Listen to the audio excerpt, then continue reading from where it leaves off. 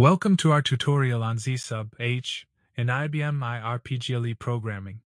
Today, we'll explore how ZSub H performs half-adjust rounding while subtracting a factor 2 value from 0.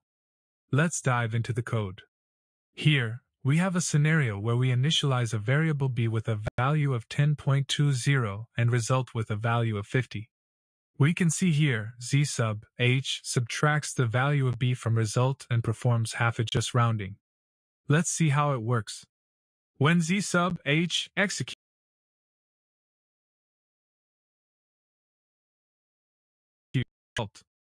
Notice how it rounds the value from 10.20 down to 10.2.